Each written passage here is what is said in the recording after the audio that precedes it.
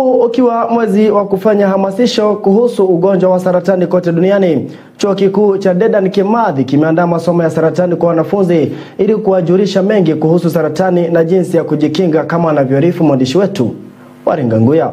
Ni masomo ya saratani katika chuo kikuu cha Dedan Kimathi kaunti ya Nyeri, ambapo wanafunzi walijitokeza kwa wingi ili kufunzwa mengi kuhusu saratani. Kulingana na Daktari Redia Warui, alisema kuwa saratani ya tezi dume, nyungu ya uzazi, saratani ya damu na zinginezo ni kati ya saratani ambazo husambaa kwa urahisi kati ya vijana. Hivyo basi, akitoa wito kwa vijana kuepuka utumizi wa dawa za kulevya, pombe, sigara, kuona bidhaa hizo husababisha madhara kwa asilimia sitini kwa mili yao.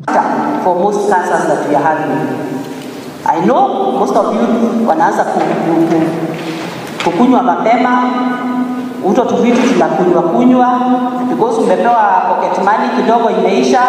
We know the cheap drinks that you go for and what else niwaambie, there is no safe drink.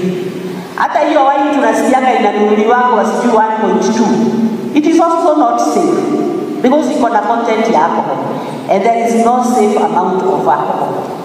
Hiyo kamoja unakunywa leo ama wewe unangoja kama mimi nalikuwa Ekman ndio nitaenda nikunywe chupa kama kumi hivi ni niliheria huko kwenye siku nimekuja because I was broke. There is no safe level of alcohol. So tafadhali utakuwa very comfortable, mnachukuana vijana, mnaenda mnalewa.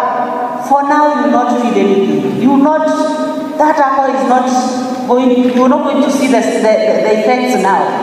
Although I know the alcohols and the drugs how much they have affected the youth. Victor Karaja na Murith Simon, wanafunzi kutoka chuo kikuu cha Kimathi, walionekana kufurahishwa na masomo haya, wakieleza manufaa ya hamasisho katika maisha yao. Katika chuo kikuu cha Kimathi leo tulikuwa na event ya kusomeshwa jinsi ya kujikinga na ugonjwa wa kansa, na tumefunzwa mambo mengi wanafunzi na pamoja na waliokuwa wamealikwa katika ibada hii. Siku ya leo tumekuwa na siku kubwa sana, tumekuwa na event kubwa sana ya Cancer Awareness Conference hapa hapa ndani ya Freedom Hall, na mimi jambo lenye nimesoma na lenye sikuwa najua zaidi ni kuhusu hicho kirusi kinachoitwa HPV, na nimeweza kusoma kuwa HPV i, ina cause cervical cancer, lakini pia inaweza cause throat cancer na pia oral cancer. Wito ukitolewa kwa wananchi kujitokeza katika shughuli za kuangaliwa mara kwa mara